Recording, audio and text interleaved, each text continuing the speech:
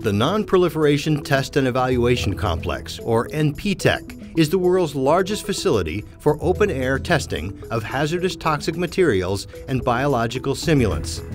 NPTEC is used for testing, experimentation, and training for technologies that require the release of toxic chemicals or biological simulants into the environment. The complex is located on Frenchman Flat, a natural geologic basin at the site where topography, wind predictability, and location provide a secure, controlled environment for small and large-scale testing.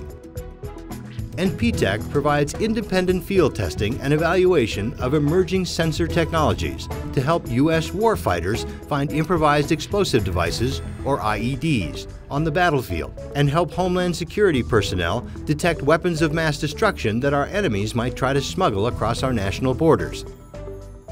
Again, there is no other facility in the country where this kind of realistic testing can be conducted in a safe, environmentally sound manner.